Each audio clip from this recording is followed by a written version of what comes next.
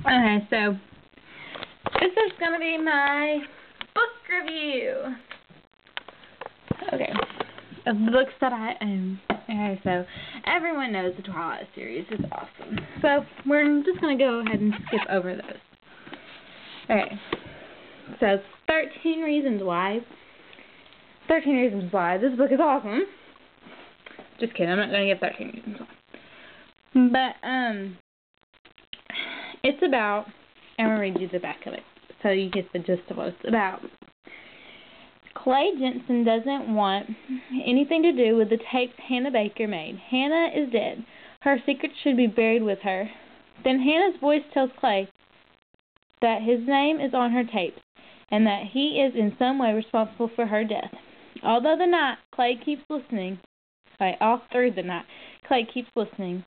He follows Hannah's recorded words throughout his small town, and what he discovers changes his life forever.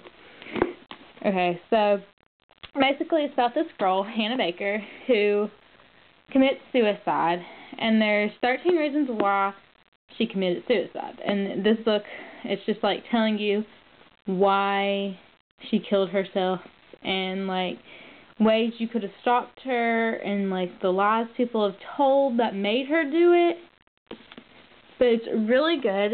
It's 13 Reasons Why by Jay Asher. Go out and buy it. Go to the library or something. Really good. Okay. Sarah Dessen books are really good. Enough said on that. They're usually like really sad. Some some of them have like good morals to it.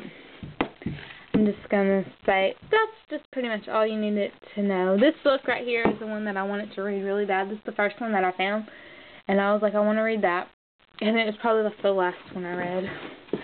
I haven't read all of her books yet, but I'm looking forward to getting to read them if I can get this book by hand. Oh! So pretty much that's it on the Sarah Dessen books. Go out, buy them, go library or something. This book is just about dreams. So yeah.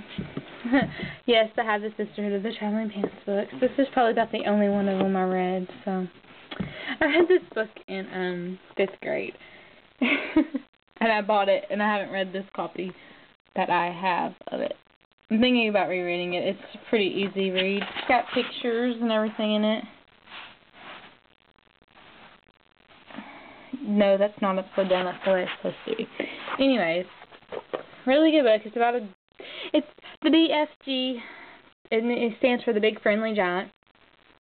Really good. That's all I'm gonna say on that. I can't get these books back in here ever.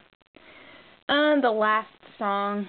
I haven't got to see the movie yet, but this book was so good, so sad, so good. I mean, most books give away like you know what's gonna happen in the end. This book at the end really had me surprised. I mean, I kind of could tell by the end when I was getting closer to it, but you sometimes you can like tell halfway through it. But this one, you, had to wait till you really got to the end to know the end. And I'm not gonna tell you what happens at the end. It's really sad though, so I'm gonna say. I mean, and it really changes uh, her life, Ronnie's life. That's her name in the book. Um, down here, let's see, what do I want to tell you about on the shelf? It's been a while since I read this book. All I, all I remember is it's about a jury, and it's a jury that's in court for a long time because it's like a they're hung they're a hung jury. No one can decide. And then after it's over, people start to die like the people that were on the jury start to die and stuff. I I I don't really know how to explain this book, but it's really good. My sister got me to read it, and if my sister reads it, you know it's got to be good because she doesn't really read that much, so it's really good. A book that I don't have in here right now because my mom was supposed to be reading it, but she can't read a book to save her life. It's called The Shack. The Shack. I'm thinking of the movie The Shack the shack. Um, it's like God comes to this man, like he's lost his daughter. His daughter was kidnapped and killed, and they never found her body. And so God comes to him in different forms. In the cabin, in this cabin, and um, like shack, I guess. My gosh, called the shack since the book's called the shack. Um, but then it leads him to realize that his daughter's in a better place and that she's happy, and then they find her body and stuff, and it's really good. You should read that. It's it's really inspirational and has a lot of stuff in it that if you're not a big believer, it can help you. I mean, you don't have to be a big believer to read it. I mean, but it's like God comes to this man in a different forms. So yeah, I just had to tell you that one because it's kind of awesome. Okay, I had a poems book. Um, what's that? I know. My mom got me this book. Uh, I read it. This one, I've marked some like quotes. It's got like awesome quotes in it and stuff. You can tell I've read these. Look how bad, battered up the things are. But it's like, okay, this one, I think this is the one that has the Savannah stuff in it. Yeah, all these pages are torn out. I got these in like middle school. But anyways, there's um some. I wish I could find it like really quick for you, but I probably can't. But like, I read one of these. In one of these, there's something about like. Um, it's probably just because it's Of the Graveyards, but um, it's about like Savannah and all haunted and stuff, and it's what really made me want to go to Savannah. If you watched any of the other videos from the CJ show, you know that I really want to go to Savannah and like stay in a haunted house and do all this cool stuff in Savannah. So yeah, that's what got me started on that. And then I've like researched it more and I really want to go to Savannah. Anybody want to go? Just kidding. I don't want to go. Just kidding. I would go. Maybe. okay. Um, it's been a while, long while. Probably like my freshman, freshman, freshman. I can't talk to freshman year in uh, high school that I read this. It's been four years. So all I remember is it's about. Oh, here. Let me just read you what it says. Gibson Whittaker is leaving the Lovell House home for orphaned and abandoned boys for the second time in his young life. He is going. he is going back to live with the Thornton family, who are free to take him in again after Mr. Thornton's death. Life has changed some on the old ranch, and Gib can go to school, but he's still doing all the chores in the barn and stable. He's not exactly farmed out labor anymore, but will be adopted for real this time. Luckily, Gib has his beloved horses to care for, especially the beautiful Black Silk.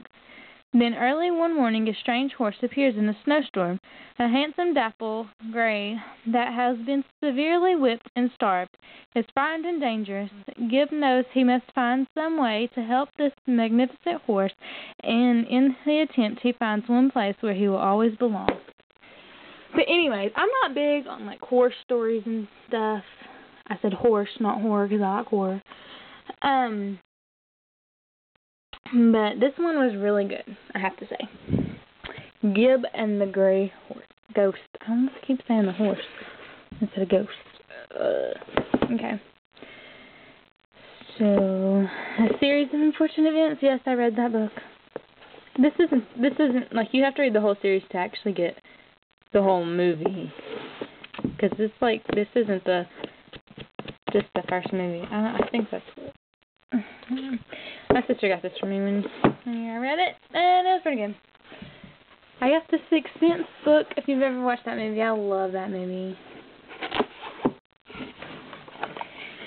Down here, mm-hmm, we got one of my favorite books, which I forgot to tell you one of my other favorite books that's up there. It's Bridge to Terabithia. If you've, I read this book in middle school, I think. I think it was middle school way before the movie came out. And the book is so much better than the movie, I have to say. I like the movie too, but I like the book better. So go out and buy this book. It's pretty much the same. There's not any real big differences, I don't think. It's been a while since I read the book. I mean, middle school, so. Then the other one I read in middle school, I think. I think it was middle school. Yeah, look at this. Tell you, maybe not. I don't know. Anyway, but um, To Kill a Mockingbird. Really good. Love the movie to it too. I read a lot of books that have movies to them, but I have to read the book first. Most people like if there's a movie to it, they just go watch the movie. Um, Education to Little Tree. Just read it. It's about a little Indian boy. And he's living with his grandparents, and they his grandpa runs a still, teaches him the trade, and teaches him all the stuff he needs to know. My favorite favorite quote in there is they're talking to this man and he like, This guy got busted. I I don't remember what he got busted for, but the funniest thing in it was it was like a man that was from Chicago an Illinois place on it. And it was the guy said, um, if you're from Chicago, then why does your license say Illinois? Anyways, I thought it was really funny and they they got a crack out it too in the book. But anyways, yeah, that's pretty much it. If there's any other books you see on my shelf that you want me to give a review of because you want to read, then just let me know.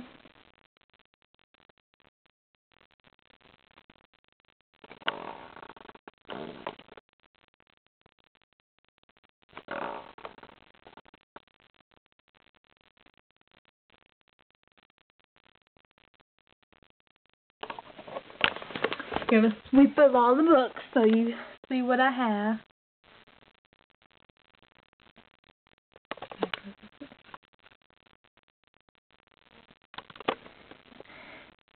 Switch it up.